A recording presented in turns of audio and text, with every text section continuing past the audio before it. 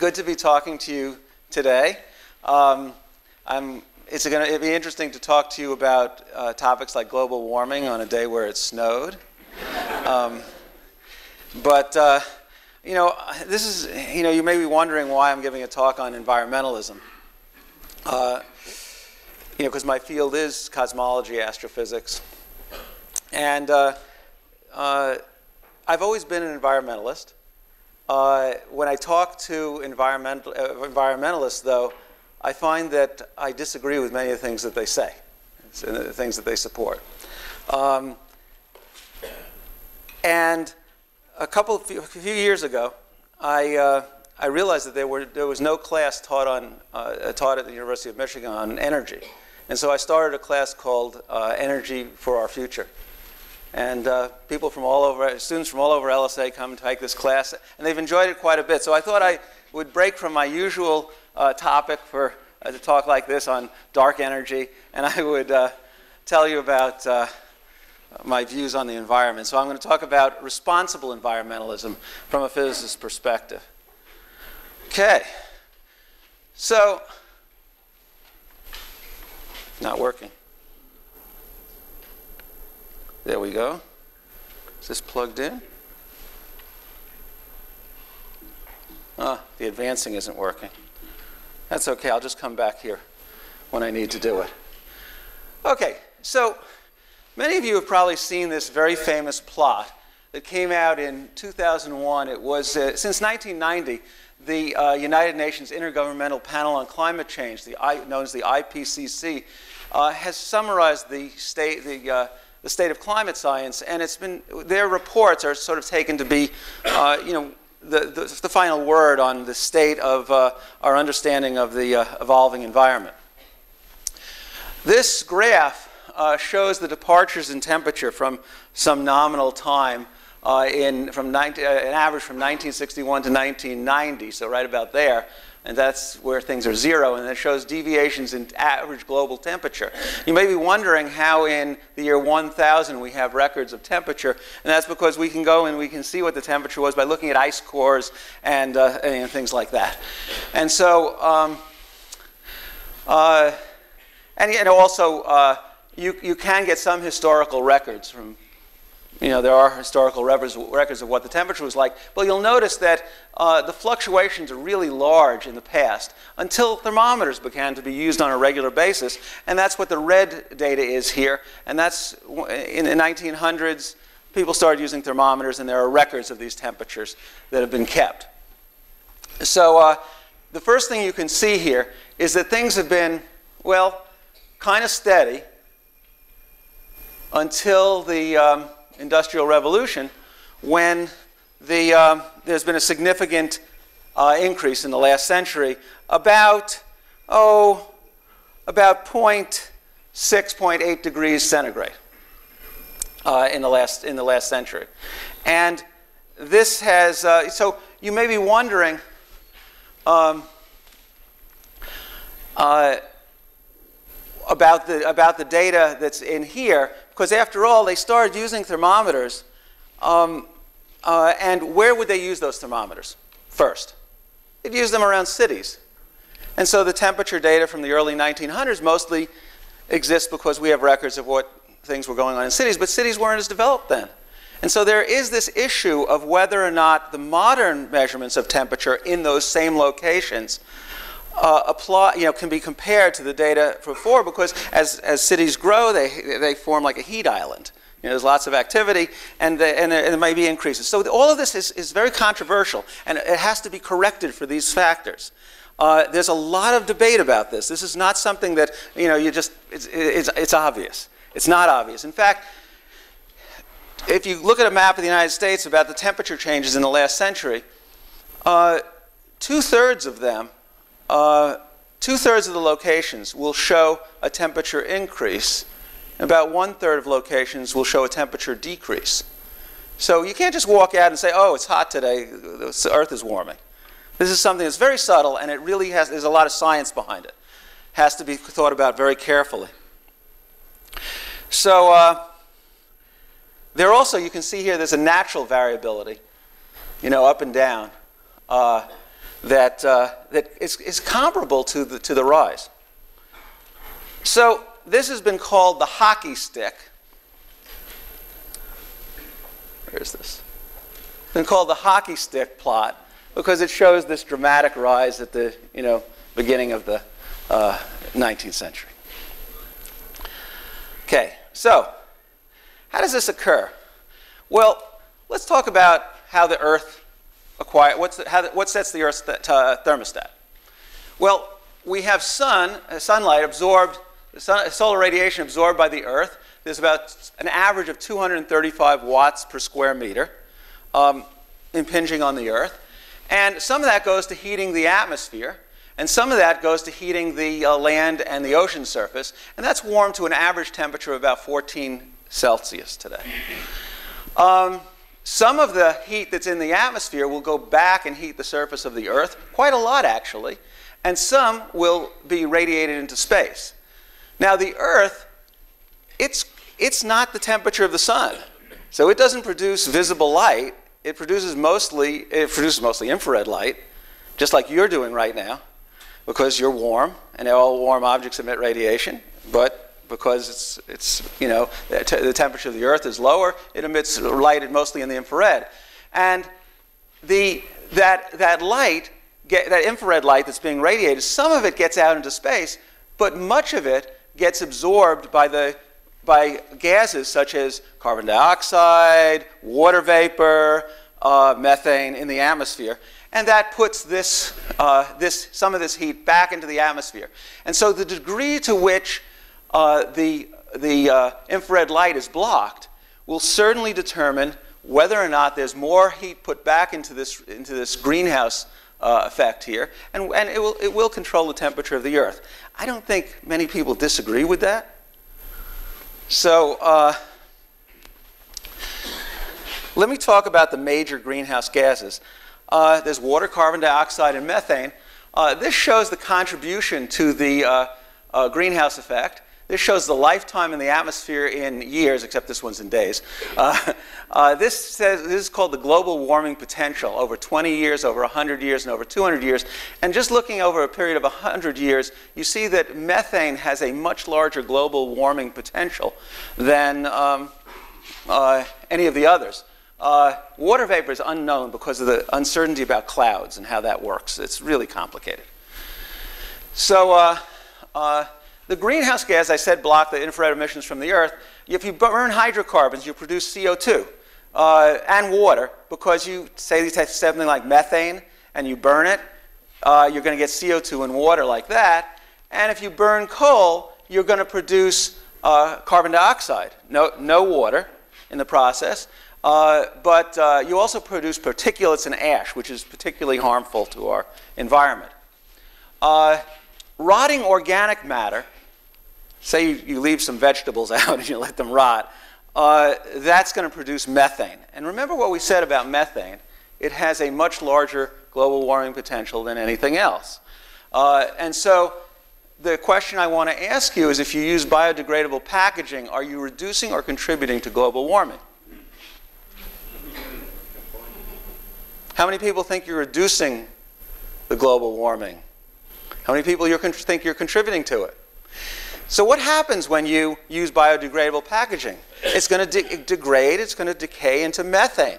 Now, if you put it in a landfill, very few landfills actually reclaim the methane. Maybe 20% in a good, a good, a good installation.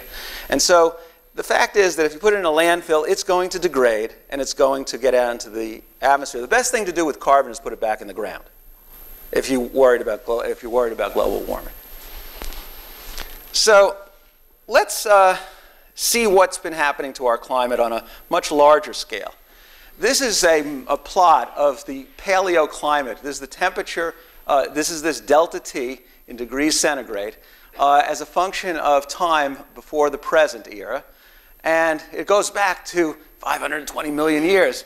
And uh, I, I, I, don't want to focus on this area except to say that the Earth has been warmer in the past than we could even uh, uh, almost imagine it happening today. There have been times when the earth has been warmer. There have been also times when the earth has been very cool, cold.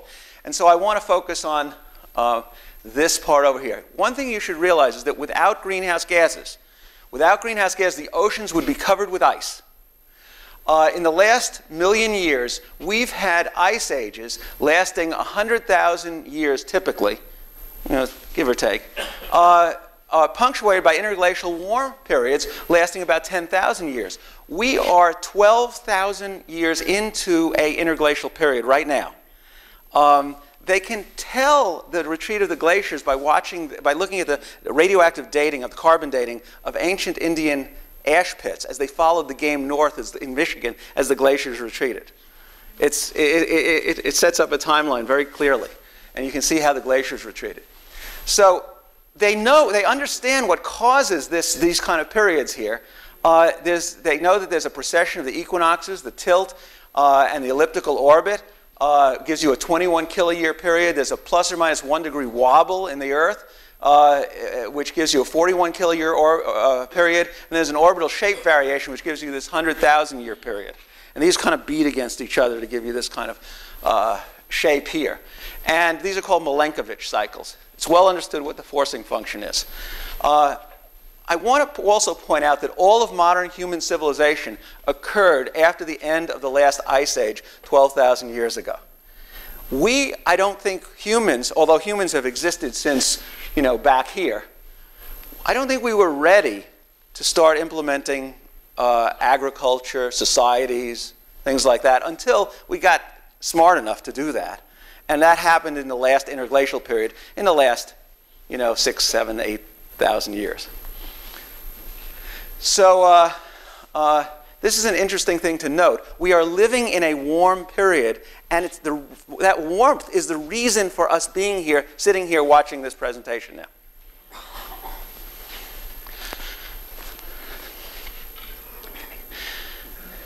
So, the Industrial Revolution uh, seems to have caused a dramatic rise in the CO2 concentration.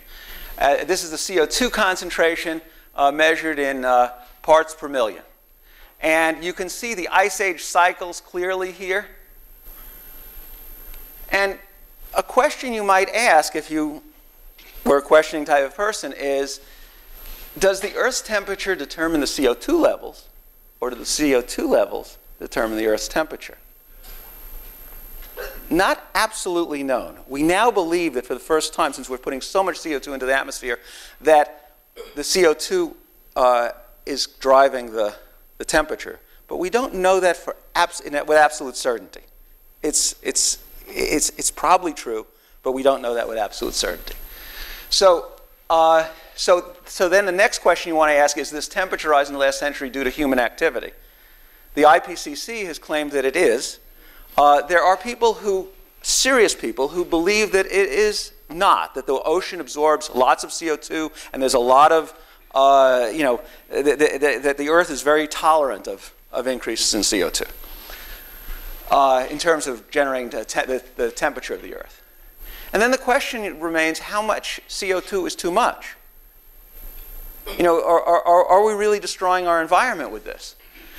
I, I, just, another thing I want to point out is that 70,000 years ago, at the peak of the last ice age, we, there was a mile of ice above us here in Ann Arbor, not very conducive to life. Okay? And in fact, at that time, there's reasonable evidence through uh, studies of mitochondrial DNA that uh, there were less than a thousand of us on the planet. We had a hard time in the last ice age. We survived it. Might have something to do with the fact that the ones who remained were kind of smart and could start agriculture. Okay, so what is the consensus on this? Uh, you know, you can listen to, your, to the politicians, you can listen to scientists. Let's so look at two views on this. The debate is settled. Climate change is a fact. Uh, President Barack Obama, in his 2014 State of the Union address, said, and I'm going to say, to say all these words Taken together, our energy policies creating jobs and leading to a cleaner, safer planet. Over the past eight years, the United States has reduced our total carbon pollution more than any other nation on Earth. But we have to act with more urgency. Because a changing climate is already harming Western communities struggling with drought and coastal cities dealing with floods. That's why I directed my administration to work with states, utilities, and others to set new standards on the amount of carbon pollution our, parents, our power plants are allowed to dump into the air. The shift to a cleaner energy economy won't happen overnight, and it will require tough choices uh, along the way. But the debate is settled. Climate change is a fact, and when our children's children look at us in the eye and, and, ask if we did all we could to leave them a safer, more stable world with new sources of energy, I want to be able to say, yes, we did. Okay? Seems like a very reasonable approach to dealing with a potential threat. A very a fairly strong potential threat. And then I read the Wall Street Journal. and Stephen Koonin, September 19th of this year, just a little while ago, says uh, the crucial scientific question for policy isn't whether the climate is changing, that's a settled matter. During the 20th century, the Earth's global average surface temperature rose 1.4 degrees Fahrenheit. Nor is the crucial question whether humans are influencing the climate. Continually growing amounts of greenhouse gases in the atmosphere due largely to carbon dioxide emissions from the atmosphere uh, in the atmosphere due largely sorry, from the conventional use of fossil fuels are influencing the climate. He says rather, than the, rather, the crucial unsettled scientific question for policy is how will the climate change over the next century under both natural and human influences? And he, then he goes on to say we are very far from the knowledge needed to make good climate policy. And he goes on to point out the deficiencies in the climate models that are used to make these predictions. For instance, he points out, to, uh, he points out about shrinking, uh, it, it, basically can't predict very much. The models do not predict things. They don't predict the shrinking Arctic sea ice or uh, the comparable, uh, the, the uh, uh, a, a, lack of a comparable amount of Antarctic sea ice increase and the Arctic, the Arctic Antarctic continental ice uh, is, uh, is decreasing. And uh, then he um, goes on to say that uh, the uh, lower, the, there's, there's, there's basically no tropical hotspot in the, in the um, tropics that has been predicted, hasn't, hasn't appeared. Um, and he, the, the the rate of global sea rise hasn't, hasn't uh, in the, in the uh, last century hasn't met the uh, expectations. Um, uh, from seven, you know, 70 years ago, uh, it's, it's as large as it, as, as it is today. Um, and so uh, the other thing is it doesn't predict climate sensitivity um, properly. today's best estimate of the climate sensitivity, in other words, what happens if you double the amount of CO2 in the atmosphere? By how much will the temperature change? Uh, uh, we don't know. The prediction is 2.7 to uh, 8.1 degrees Fahrenheit. And uh, uh, that's no different or no more certain than uh, it was 30 years ago, despite literally billions of dollars of research being done. We don't know. We just don't know those things. So the question I have to ask is who is right? I have to ask who is right about the, you know, it's two diverging points of view. And I have to admit that I'm a little prejudiced in this because it's between a politician and a scientist. Okay? and not just any scientist. Uh, Steve Koonin was the, uh, some of you may know he was the undersecretary for the Department of Energy uh, under uh, Steve Chu during the Obama administration, uh, his first term and he's currently the director of the Center for Urban Science and Progress at NYU. Um, uh, prior to that, uh, you know, he's a serious scientist. He was the chief scientist of, uh, of BP prior to that, and before that, he was a professor of physics at Caltech. Um, he did nuclear physics. Um, I, I know Steve from when I was a freshman at Caltech. He lived a few doors down from me, across the hall. We were friends. And uh, he was the smartest kid there. he was absolutely the smartest kid there. And by his senior year, he had finished all the graduate classes they had to offer. And he went off to graduate school at MIT. In two years, he solved the most important problem in nuclear physics at the time, which is a time-dependent Hartree-Fock calculation of the nucleus. And he returned as an assistant professor two years after he graduated as an undergraduate to Caltech. So he is not someone who can easily ignore when he evaluates things. Now, uh, both Obama and Koonin based what they said on the uh, 2013 IPCC report. Uh, President Obama relied on IPCC's summary for policymakers, uh, while Koonin based his remarks on the contents of the report. He, he actually read it. okay? Uh, so after he went through this, he concluded, and this, so it's, it's the IPCC report that he's, they're both basing it on the same thing. Except in one case, he actually is basing it on the contents of the report instead of the executive summary, which, by the way, does not reflect the contents very accurately. So he says these are fundamental challenges to our, to our understanding of human impacts on the climate, and they should not be dismissed with the mantra that climate science is settled. Okay? He says any serious discussion of the changing climate must begin by acknowledging not only the scientific certainties, but also the uncertainties uh, especially in projecting the future. Recognizing those limits rather than ignoring them will lead to a more sober and ultimately more product, productive discussion of climate change and climate policies. To do otherwise is a great disservice to climate science itself. Right? Quite reasonable, right? He says, uh, uh, so now you have to understand upon the release of this Wall Street Journal article, Koonin was denounced by many environmentalists as a climate change denier and an agent of BP. He doesn't work for BP anymore when he was there, he, he worked on low carbon technologies. you know, uh, that's what, that was his emphasis. Um, also, the word denier is a heavily politically charged term. And I'm actually offended when people use it. Uh, it brings up the, the, uh, the specter of, of Holocaust denier or something like that. And what it does is it shuts down uh, discussion.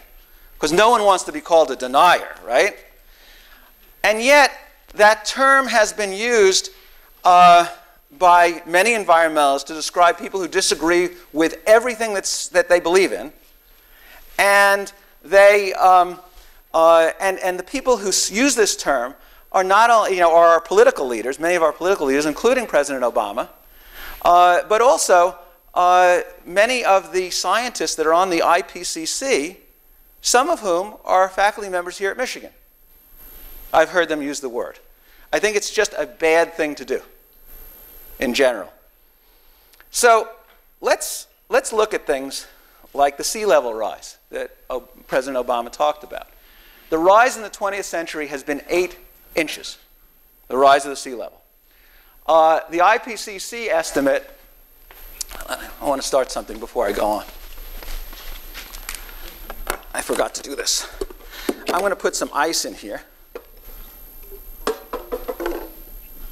Okay. And I'm going to raise this. Let me, let me get this on the screen. Is it on the screen? Oops. Yeah. Uh, there. Ice. There we go. Okay. I'm going to set this to uh, to that mark at 3,000 milliliters.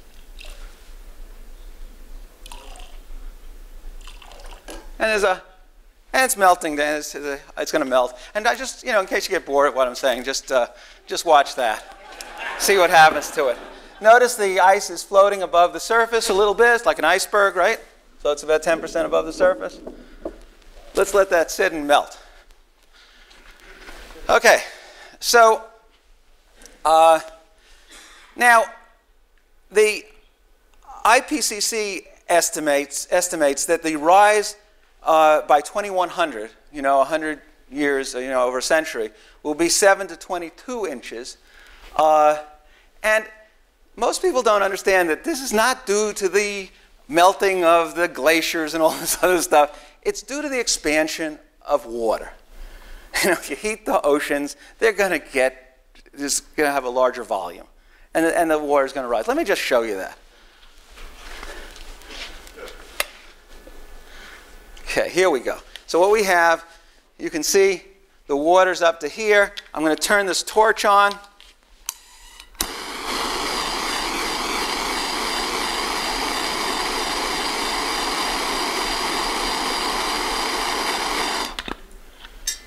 And up goes the water, right? Water expands. That's what this is due to. It's not due to the, the glaciers and the, and the Antarctica melting, Green, Greenland melting. It's not due to any of that stuff. Okay, so they predict 7 to 22 inches. Now, floating sea ice melting, as you will see as you watch this ice over here melt, and I'll put it back on that ice, that level will not change. And it doesn't change as the ice melts. This is physics.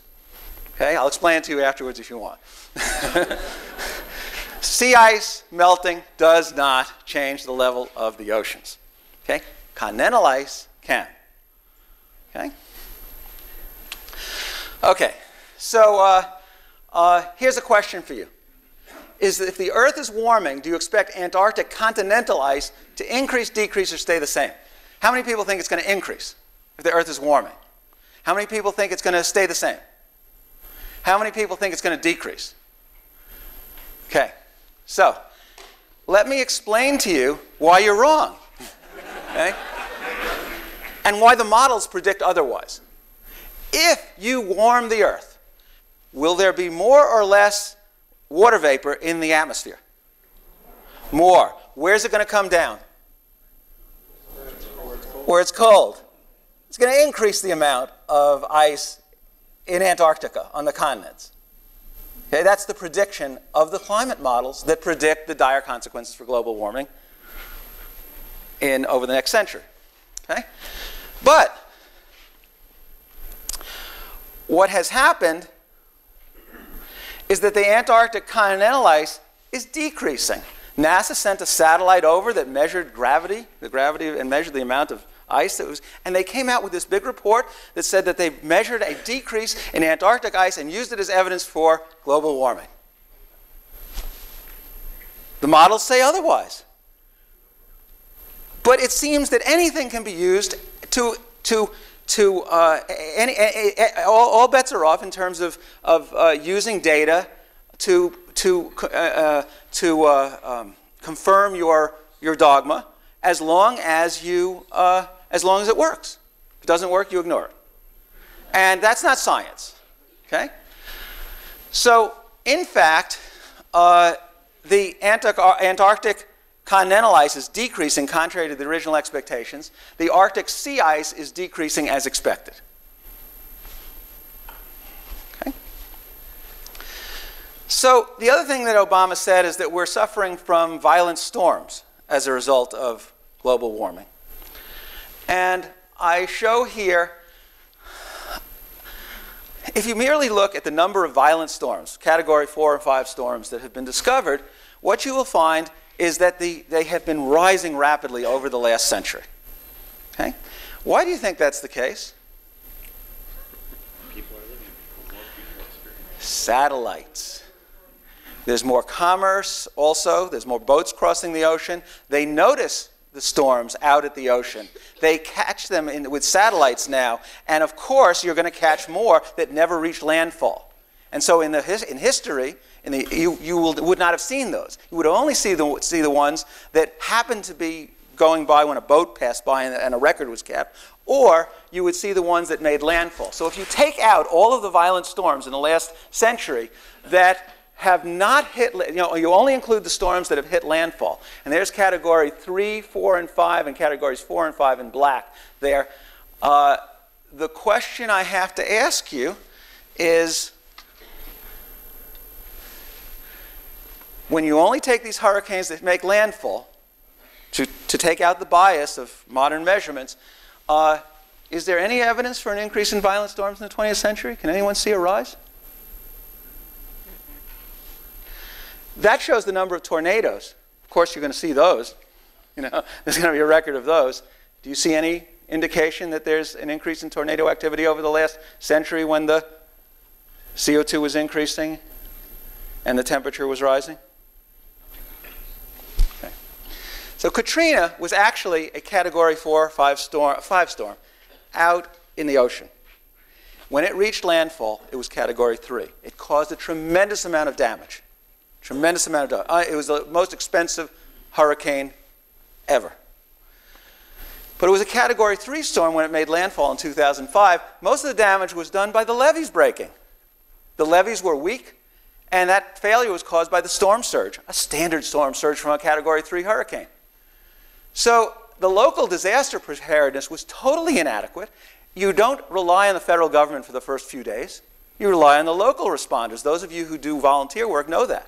It's the local responders that get there first, and then the federal government can come in and help. Uh, that didn't keep people from beating Bush over the head over this, this thing. Uh, but in fact, the local disaster preparedness was totally inadequate. And the fact that they were constructing half of New Orleans below sea level was also not a good thing. Know? Not good. So, uh, since 1971, the Army Corps of Engineers attempted to build a hurricane barrier. And in 1977, the work stopped due to a Save Our Wetlands lawsuit. Okay? In 1985, they just gave up. They just gave up. They decided, forget this hurricane barrier. Uh, we'll just kind of try to strengthen the levees. Uh, it was a decade of court battles. They just couldn't deal with it anymore. And then eventually Katrina hit, and the levees were weak, and they failed. This doesn't mean that we need to ignore the warnings about greenhouse gas emission. It just means we don't understand the impact of it. But what we do know is that there are potential, really serious things that can happen with a warming Earth. And they, we can reach tipping points, potential tipping points. We don't know when that might occur. We don't know uh, at what temperature it'll occur.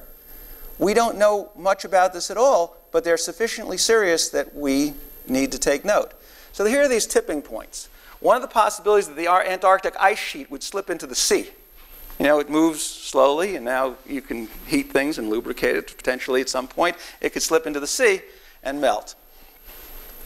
Another possibility is that Greenland might melt. And uh, the fresh water would, would disrupt the Gulf Stream, cause huge changes in temperature over populated areas of Europe. Um, that's also a possibility. Uh, this is a serious thing. Methane could be released from permafrost in the north. I mean, after all, there's all this rotting organic material that's been frozen in there. It warms up, comes out. Methane's a really powerful greenhouse gas. Not too good, right? Could lead to runaway warming. There's also the possibility there are methane hydrates at the bottom of the ocean that are basically methane water ice. Under high pressure, and low temperatures, that's what, that's what methane does. And there's methane seeps, by the way, all over the ocean floor. Actually, life grows around those methane seeps. It's interesting.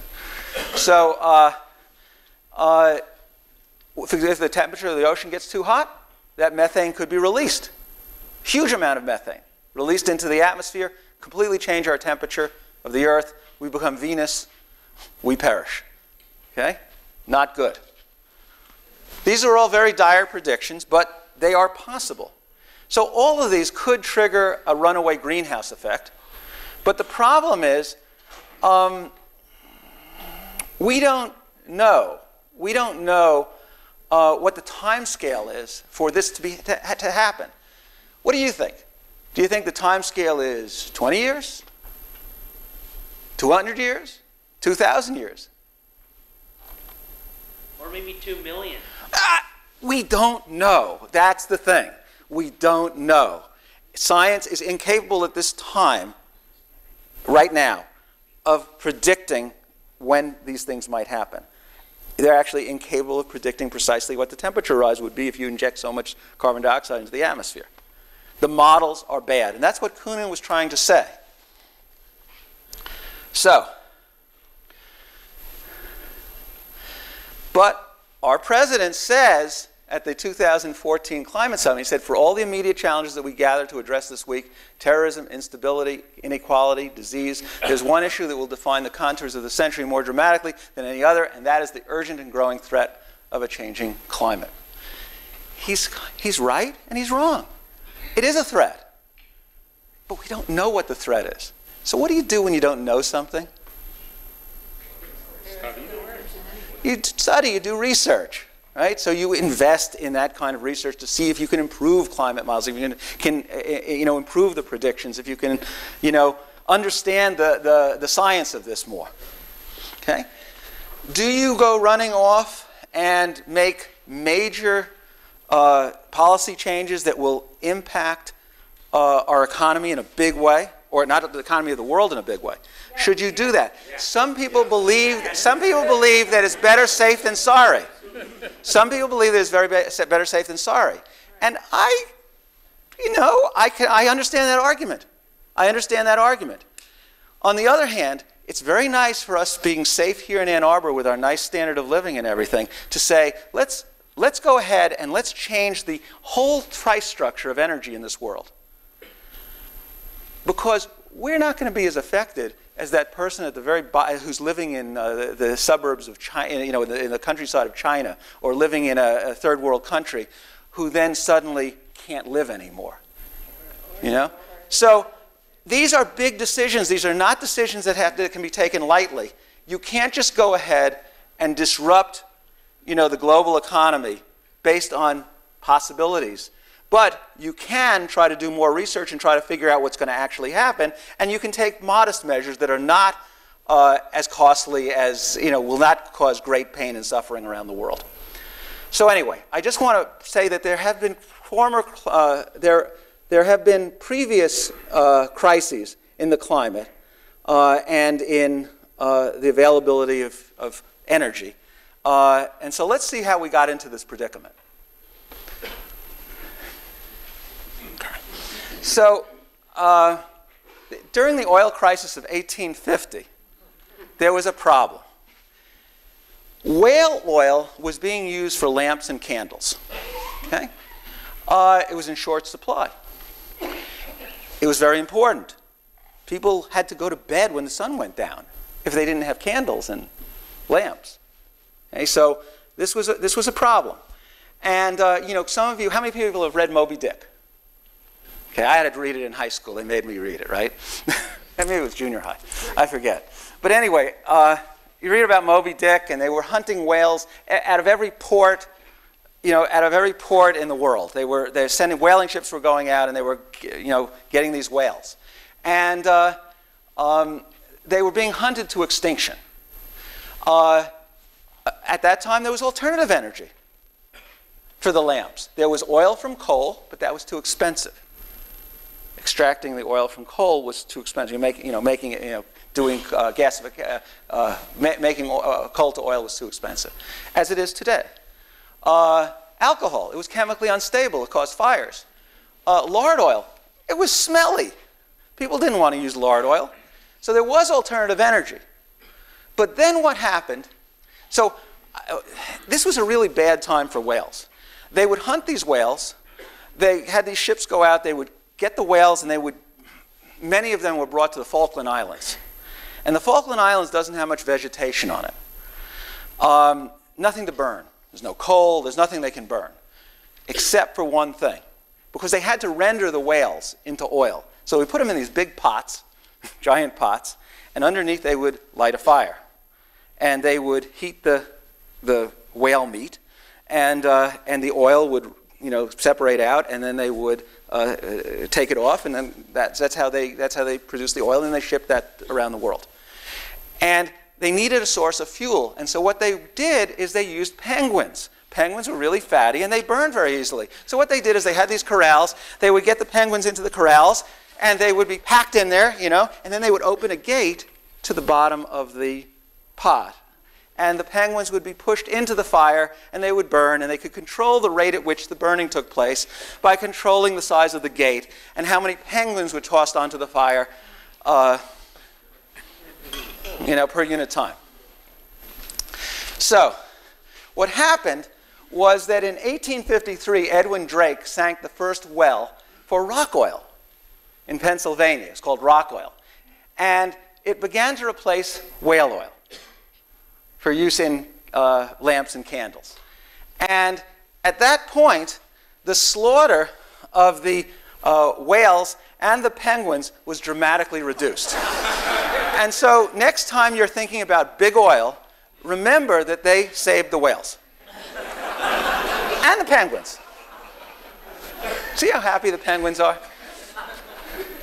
So, what followed was that, you know, over the next, uh, you know, uh, 15 years or so, John Rockefeller built Standard Oil into this, uh, you know, empire controlling 90% of U.S. refining. He made a standard oil that you could put in the lamps.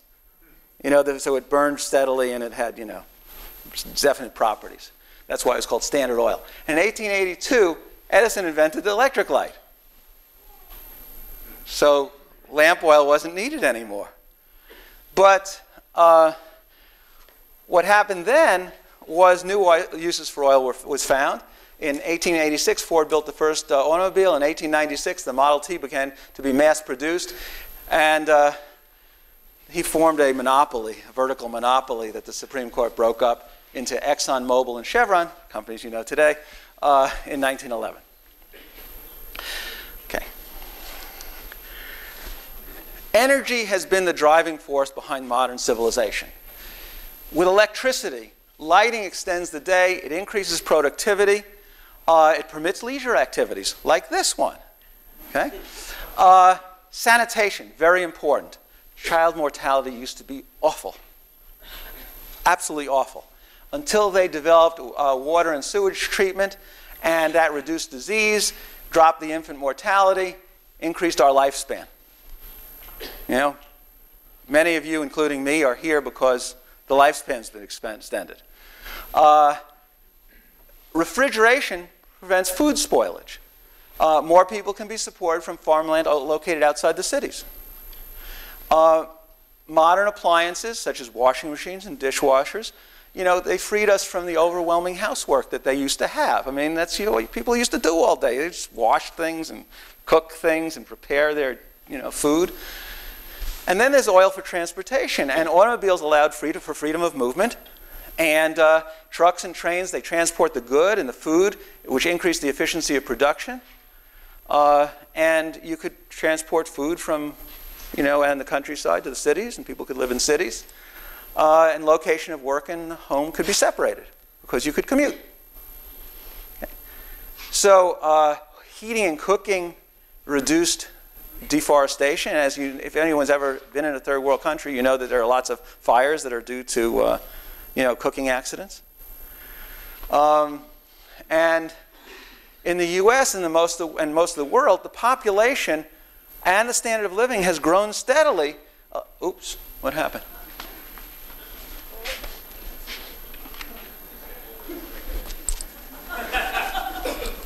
Some, something doesn't like me.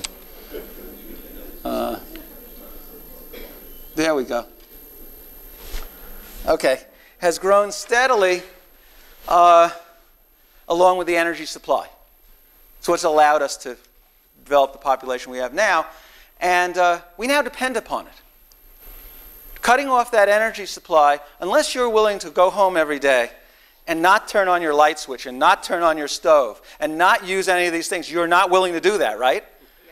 Yeah you are voting for, in a sense, for what we have, the way produ we're producing energy today. You're, make, you're voting with your fingertips.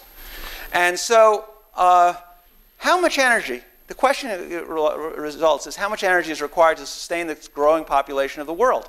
Uh, you know, at some decent standard of living, whatever we consider decent today. 100 years ago, maybe it wasn't so you know, it wasn't so, you know, our, our, standard of living would be like kings, but, you know, what we consider decent now is, is what we, we want to continue. And the developing world wants to do that too. So, the CO, so CO2 production, as you might expect, in the developing world has been rising very quickly. You can see over here in the annual emissions in billion metric tons of CO2 as a function of year, you can see that we've actually done conservation measures in the United States. And despite growing population, we have uh, reduced our uh, CO2 emissions in the United States. But in around 2006, 2005, China surpassed us in CO2 emissions and continues to grow exponentially. Why? Because Chinese, the Chinese people aspire to the same standard of living that we have here. And they say to us, You're telling us we can't burn coal, we can't burn fossil fuels. Uh, and yet you have the standard of living you have now because you did that.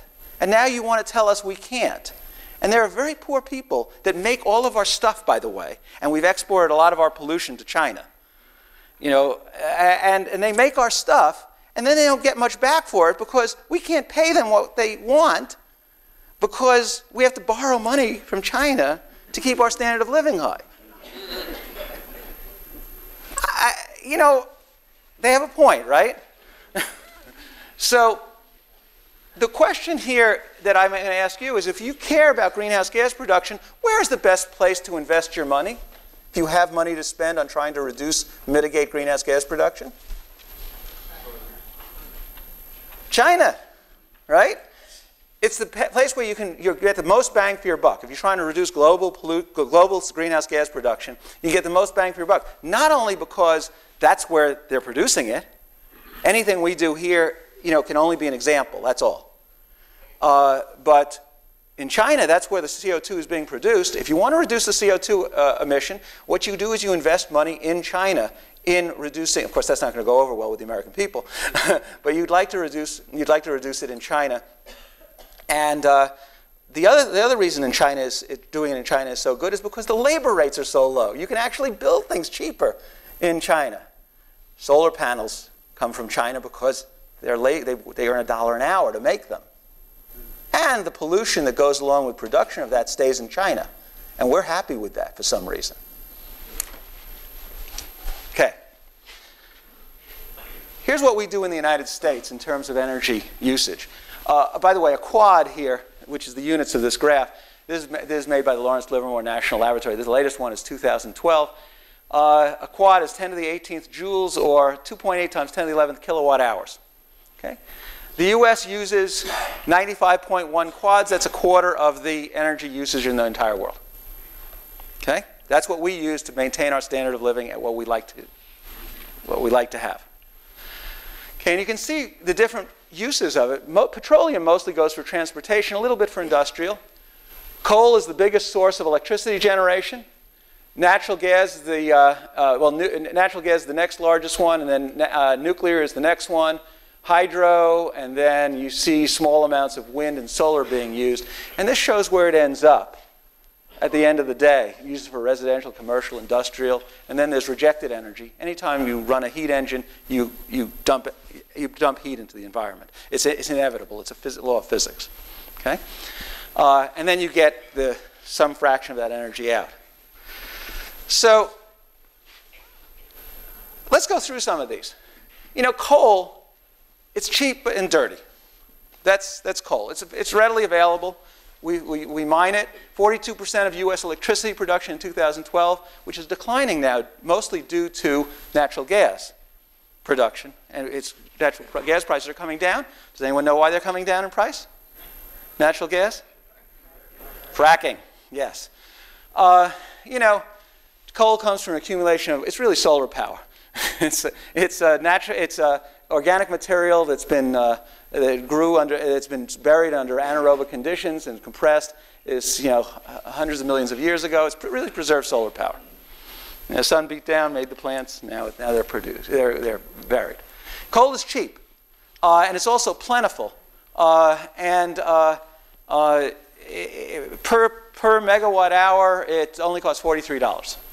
Um, uh, the uh, uh, greenhouse gas that it produces is larger. It's 3.7 tons of CO2 per ton of coal. Scrubbers can be used, but you know that can remove most of the particulates, the fly ash, all the dangerous you know emissions from coal plants, acid gases and poisonous heavy metals like mercury and stuff. Anytime you burn something that comes out of the ground, you're going to get heavy metals because you know you burn away the carbon and the oxygen and the nitrogen and all that stuff, what are you left with? You're left with the heavy metals, right? And they go off in the ash. And of course, if you have the residue of that ash and you put it on the ground and it rains, that's that, those metals are going to, like mercury and things like that, arsenic, they're going to go into the rivers, you know, into the water supply. Um, so you produce all this liquid and solid waste. Coal has a very slow response, many hours, and that's why it's used for base load power. you know, the, ba the base load power generation that we need. Um, it has a very high capacity factor. You can get good thermodynamic efficiency by burning it. You grind it. If it's anthracite, you can grind it up and blow it into these furnaces. It has the highest death rate 15,000 people per petawatt hour. By the way, all forms of energy have a death rate. So you can calculate this just by adding up all of the deaths that occur as a result of operating that plant, mining the stuff, the health effects that occur, and uh, you can figure out what the death rate is per petawatt hour. Okay? Nuclear fission, 21% of US electricity production in 2012 came from that. Basically, you enrich natural uranium in, 230, in uranium-235. It's enriched to 3 to 4%, and it's used for use in a reactor like that. It's a very simple device. You got, you got uranium. Neutrons are emitted.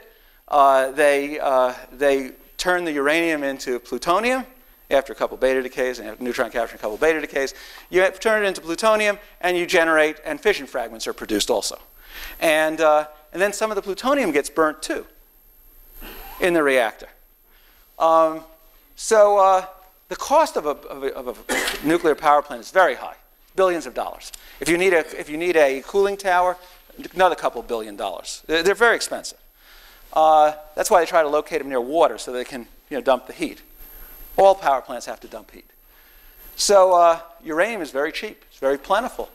Uh, $24 per megawatt hour production and distribution cost, 20,000 gigawatt hours per ton of uranium-235, that's 6 million times what you get from coal.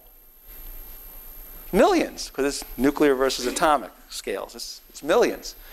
So there's essentially from the power production, of course, there's always greenhouse gases produced when you make a plant you know, the production of concrete and things like that. But from the power production, this is really zero greenhouse gases that come from nuclear.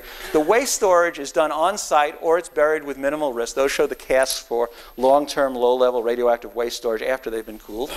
Um, and uh, it can be stored on site or buried with very minimal risk.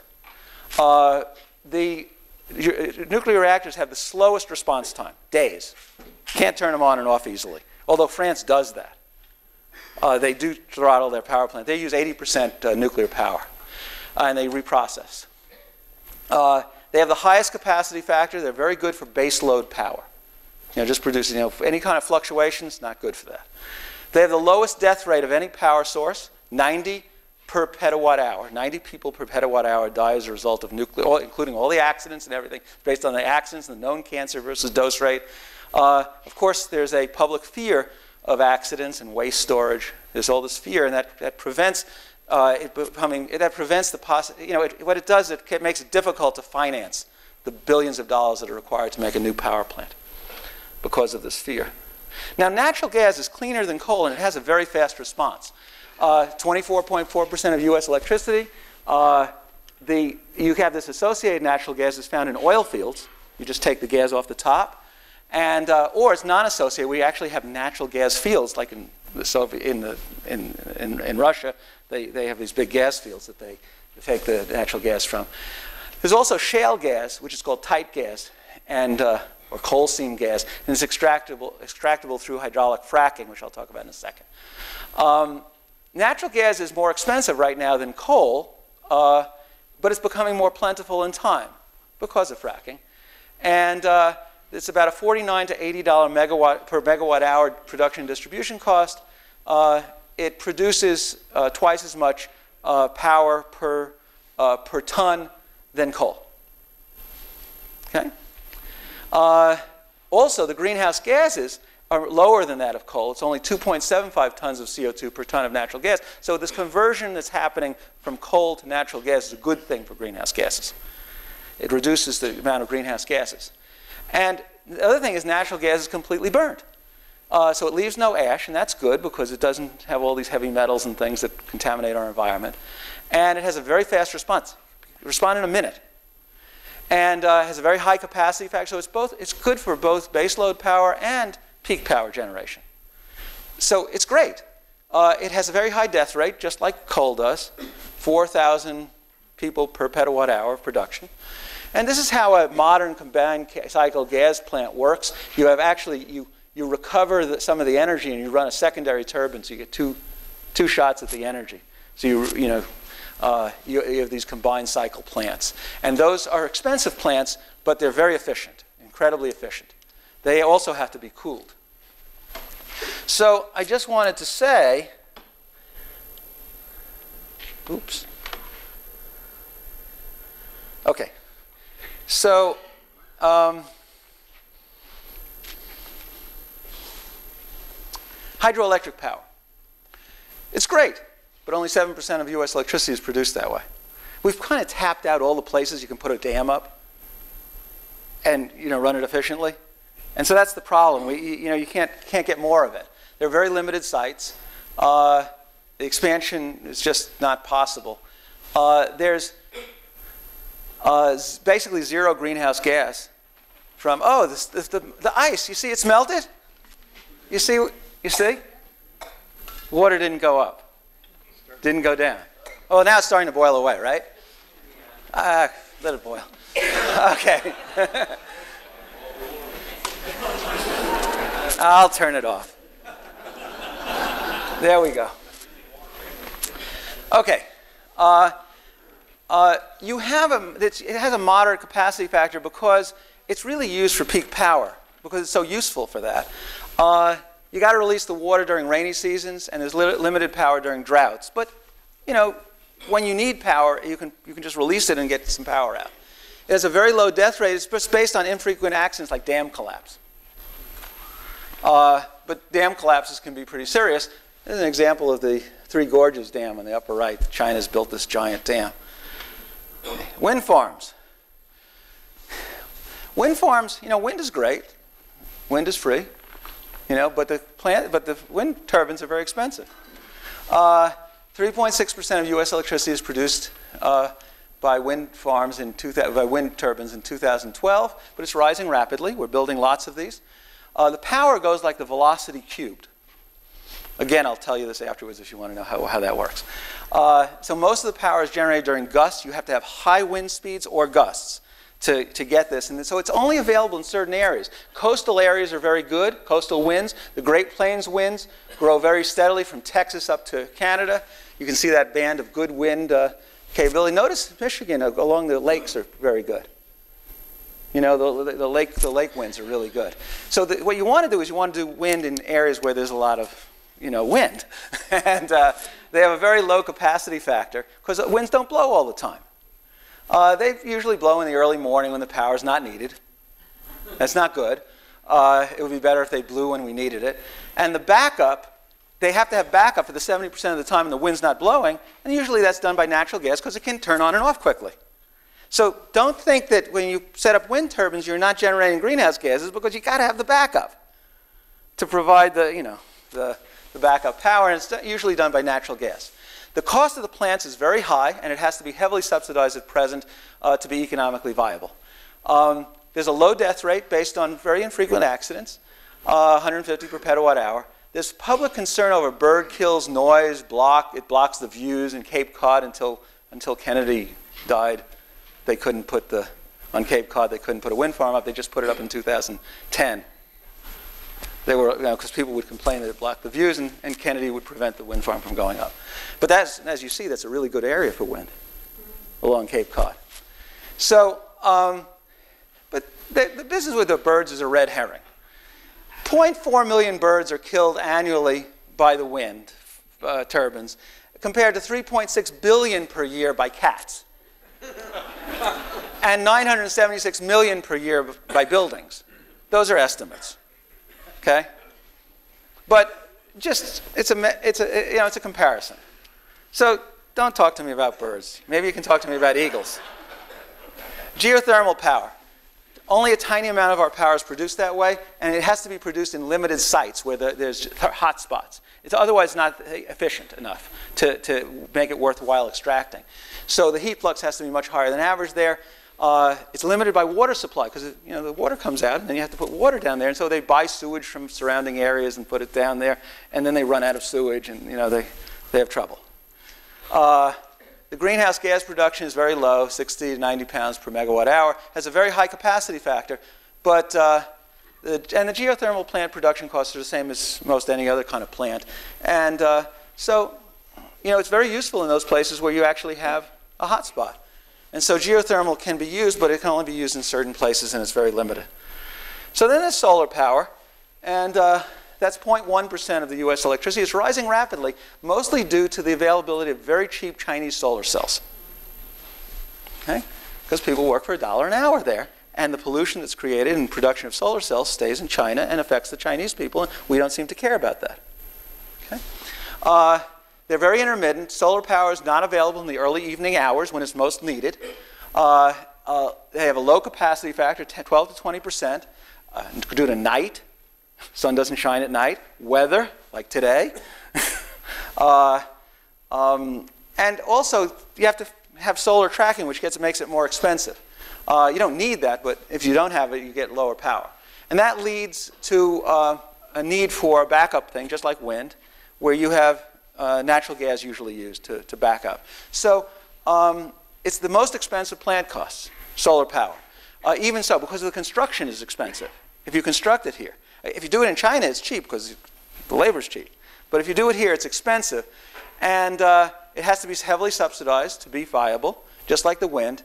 Um, and uh, uh, sunlight's free, but the maintenance costs are actually high. They have a 10 to 20 year lifetime, so you have to keep replacing it. Um, there's a low death rate based on very infrequent accidents. But I just want to say here in Ann Arbor, when the University of Michigan tried to install solar panels up on Plymouth Road, it was very natural to do it there. They had a natural gas plant at the North Campus location where Pfizer used to be. So you have a gas plant ready to go to back up the power. You build solar panels, which during the day when people are actually in, in the facility there, could actually provide power, and then you have the backup by the natural gas. At night, it was actually a very natural thing to build solar power there because you had an existing natural gas power plant uh, at the old Pfizer facility. But you may remember what happened when they installed the solar powers, power panels up there. People started complaining. Oh, they were unsightly. They think they should, they should build, they should put trees around it.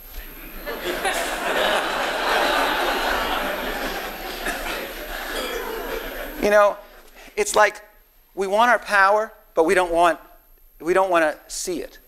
We don't want to uh, have it in our community. It's like any power system they don't, we don't seem to want. Anyway, I just want to talk a little bit about conservation because it's the energy solution that, that pays interest. we call it negawatts. Okay? Uh, an effective interest rate, which is 100% divided by the payback period minus the depreciation rate. This is the interest that you would get by investing in, in something, okay, that saves you energy. So the payback period is just the cost divided by the annual savings, and the depreciation rate is 100% over the lifetime. That's the rate at which it depreciates, okay, the lifetime of the, whatever you do. So here's an example. In 1998, I installed an attic fan in my house, okay, uh, to save on air conditioning costs during the summer. It was really hot. It's gotten cooler since then, but it was really hot back then. And so the cost was $400. I bought it at Home Depot. I self-installed it. it. Cost me $400. I saved $200 for the months of July and August, which is $400 a year. The payback period is therefore one year. Okay? So the lifetime is 20 years, so the depreciation rate is 5% per year. So the effective interest rate I got on that investment was 100% per year, minus 5% here, which is 95%. What a great investment. Okay? Whenever you can do something like this, do it. Okay? There was a report by the McKinsey Group uh, on greenhouse gas uh, mitigation. And uh, these are abatement cost curves uh, beyond you know, business as usual.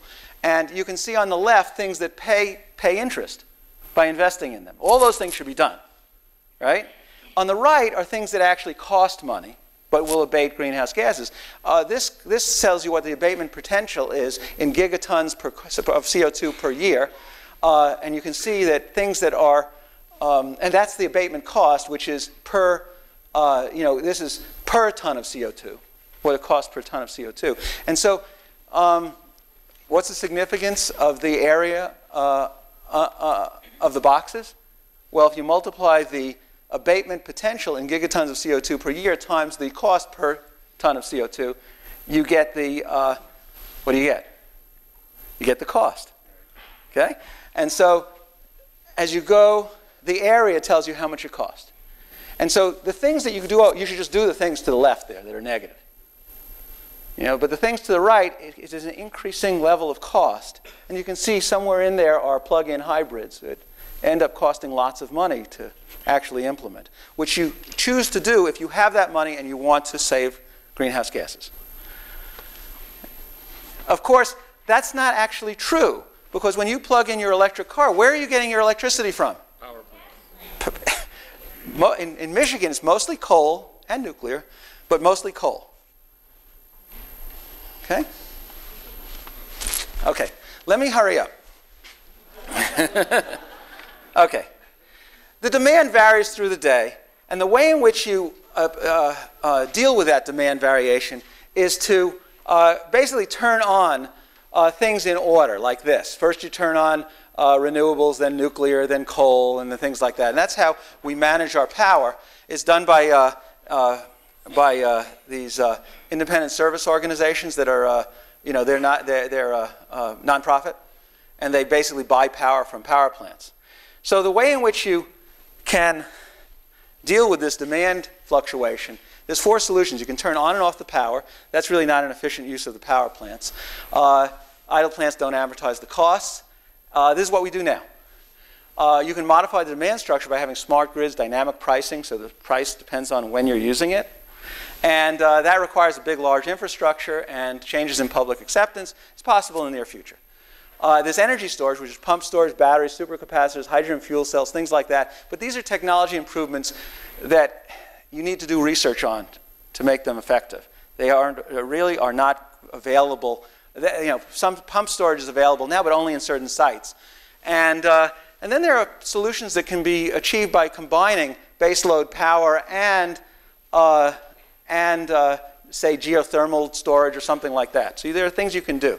So let me just say pump storage is about 80% efficient. You've got to pump, when you're not using power, you use the plant to pump energy up into, you know, water up into a reservoir, you let it go, and you get uh, power out. You can use batteries. Batteries are incredibly expensive. They also have a limited number of charge-discharge cycles, and this is why they're so expensive. They have to be replaced all the time. It's really not ready for prime time, battery storage. Uh, and the reason for that is that when you use batteries, these dendritic structures form on the electrodes, and eventually they can't be recharged anymore. And trying to understand this is a very important part of battery technology that needs to be worked on. Uh, I'd like to just point out that this theory of diffusion limited aggregation that causes this thing uh, was first proposed by uh, Witten and Sanders, who's a University of Michigan professor here in physics. So I just want to say there are mixed technologies. You can do bedrock heat storage. You can dump heat into the bedrock. Basically, provides a, a source of geothermal power. If you can, if you can you know, run your plant straight out when power is not needed, you put it down into the ground. Um, now, there's also oil needed for transportation. Our whole way of life in the United States has evolved around the availability of cheap imported oil. Okay? Individual transportation, uh, suburban living, trucks for distribution. We have a decaying rail system as a result of this. Uh, domestic oil production is limited. We have to import our oil. Um, alternative transportation systems have really not been developed in this country because of the availability of very cheap oil. You can see that our demand for oil has, has continued to, uh, you know, uh, our production has, has dropped, our demand has gone up. Uh, we have to import our oil from places in the world that we would rather not import our oil from and dump our money into. Uh, this has been a bad thing. So there's been a demand for drilling, uh, exploiting our own oil resources in the United States. And so, well, how many of you remember the Deepwater Horizon BP oil spill uh, of uh, four years ago? Okay. Do you remember seeing the pictures of oil washing up on the Florida beaches along the Gulf Coast? How many people remember that? Okay. Okay. Which most correctly describes the number of animals of all kinds killed by this oil spill? Raise your hand when you get the right answer. 500. 5,000. 50,000. 500,000. 5 million. Okay. Well, let's actually see what happened. April 20th, the Deepwater Horizon oil rig exploded. 11 people were killed, 17 were injured. Oil spilled into the Gulf of Mexico at an enormous rate. You've seen the pictures. Uh, it was 41 miles uh, from the Florida coast. Obama said it was the greatest environmental disaster of its kind in our history. He closed 50,000 square miles of ocean to fishing, and he, and he set a moratorium on deep uh, water drilling. In July, uh, less than three months later, the BP engineers stopped the flow one mile below the surface, an absolutely amazing technological feat. I, I, I don't think there are any, there's any other group could actually do that. This is an amazing thing. They were ready for something like this. They were able to get the stuff down to the bottom, make, drill into the, into the bore, and, and inject stuff into it. I mean, it was an amazing feat. They did it in less than three months. They stopped it. So in July of 2000, uh, uh, in, in, BP, they hired the un, now unemployed fishermen to, uh, to set out uh, barriers to protect the beaches and deploy surfactants to,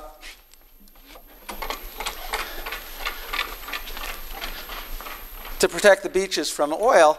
Over here, oh, thank you. We have some wave action going, and I'm going to put some oil in here, and I'm going to show you how surfactant works. Ready? See, it breaks up the oil into tinier pieces. You see it's starting to break up. And wave action then breaks it up further, and bacteria can then attack the oil and degrade it. So that's what they did. They hired the, the fishermen to do this and, uh, and deploy the surfactants and uh, uh, to break up the oil. Uh, David Axelrod, the presidential advisor, called this the greatest environmental catastrophe of all times.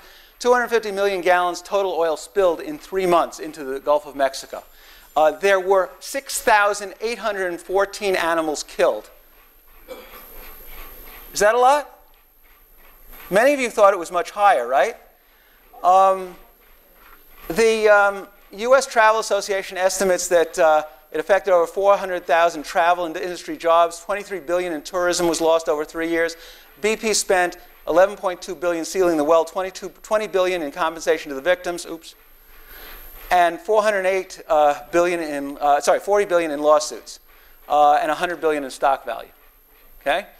Uh, in the end, the oil never reached the Florida beaches.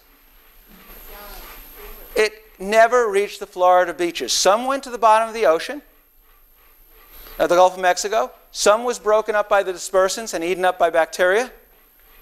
Uh, shortly afterwards, uh, oil and uh, dispersants are now undetectable. Undetectable. The fish and the shrimp are thriving. There's been an explosion of fishing yield. And that's why? Because they stopped the overfishing by closing the Gulf and putting the fishermen out of business they, the fish population exploded, and now we have more sea animals than we ever had before because of the stopping of the overfishing. It's humans that do this stuff. Okay. This is how soap works. That's how that's working over there. Uh, micelles, uh, soap, the surfactant detergent molecule, has a polar head and a uh, nonpolar tail. And so when you stick this in water, the nonpolar tails go inward to get away from the water. And the water, of course, which is polar, you know, it, it, it keeps the, you know, these things pointed this way, like so, you see? And so if you drop oil in the water, where's it going to go? It's going to try to avoid the water, and it goes into these little micelles.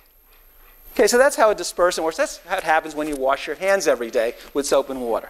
That's how, that's how it works. Okay, so let me just go on. Because I do want to talk about fracking. Fracking is an amazing technology that was developed It has lots of pros and cons. You drill down, and then you turn the drill sideways, and you drill into a shale deposit. Then what you do is you inject under very high pressure oil, uh, sorry, water, uh, detergent like this, and sand. You crack open hydro, you know, hydraulically the shale, and the sand goes into the little cracks and keeps them open, and then out comes natural gas. Okay. Now the problem is you have to go through a water, you know, water uh, table to do this, and they have to line the well appropriately so that, you know, you don't get stuff into the water table. Uh, but you can extract natural gas that way. And this is a huge, huge uh, uh, change in technology. Uh, this shows you the global shale uh, gas reserve estimates in these various countries. The total reserves come to something like 66, uh, 22 teracubic feet. It's sufficient to last us 100 years. The US has 1150 teracubic feet, maybe up to 3,000. China has enough for 450 years of their energy production. So there are pros and cons to this. There are possible benefits. It allows the transition to, from coal to natural gas, uh, which has half the greenhouse gas potential per unit energy, uh, half the greenhouse gas uh, uh, per unit energy. And it enables a shale oil production. Uh, hasn't been done much yet. But more about that later. The U.S. could become a net energy exporter if it exploited this, uh, and is a stable energy source for hundreds of years. The environmental concerns are multiple. There's contamination of groundwater. Anytime you put stuff underground and bring stuff out, you're bringing out all sorts of dissolved bad stuff, you know, mercury, arsenic, things like that. And, you know, it's the same thing as digging up coal and burning it. So uh, you can get contamination of the groundwater if you don't seal it properly. Uh, there's migration of these contaminated fracking fluids to the surface. Uh, there's spills of the contaminated fracking fluids. Once you can take the fracking fluids out, you really want to recycle it uh, and put it back in the ground where it belongs. Uh, there are risks to air quality. My problem with fracking is that it provides an entirely new way for us to continue to dump CO2 into the atmosphere for the next 400 years. Okay? Otherwise, in the short run, it's pretty good because it reduces the amount of CO2, it reduces the amount of coal that's used. So uh, I have very mixed feelings about this. I, oops, I hit the wrong button. Okay. I just want to say something about nuclear waste. People are very afraid of nuclear waste. But nuclear waste, we understand the effects of radiation extremely well. If you take high level waste, it consists of two types of things. There's fission fragments that decay very quickly, highly active, very radioactive. After five years, they're gone. So you put them in a pool, it's, it's thermally hot, you allow them to cool off in a pool at the reactor site, and by the time that happens, all of those highly ra radioactive things are gone, and all you have left are the long lived things, and because they're long lived, they don't decay very fast, and so they're, they're, they're, they're low radioactivity. Mostly it's plutonium. Uh, which lasts 24,000 years. But you really should recycle the plutonium like the French do. Anyway, you can vitrify this and put it in cask storage on site. It's not dangerous at all. Uh, or you can do it in deep, deep, but you can bury it. Uh, and unfortunately, Yucca Mountain was a very nice site to do this, but it was shut down for political reasons. Okay? This shows the, the, the, reduction of radiation as a function of time based on background level of, from the ore in which it's mined. And so you can see that after 10, uh, 100 years, uh, you've reduced it to the point where it's 100 times the background level, which is very low, by the way.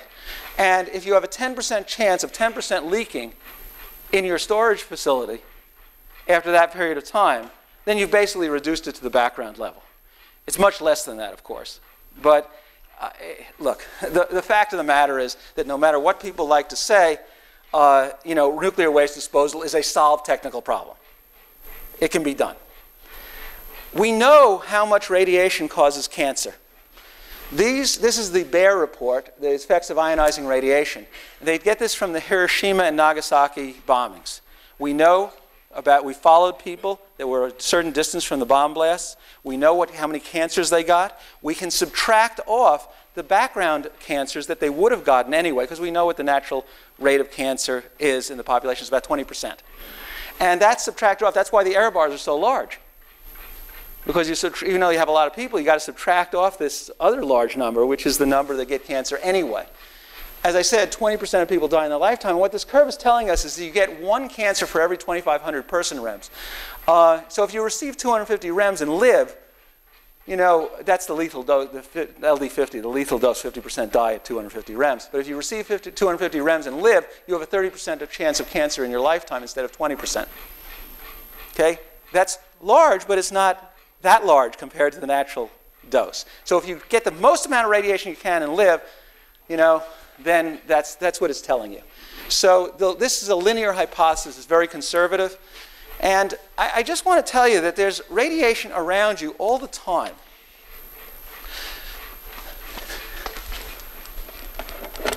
Let me take this out, turn this on.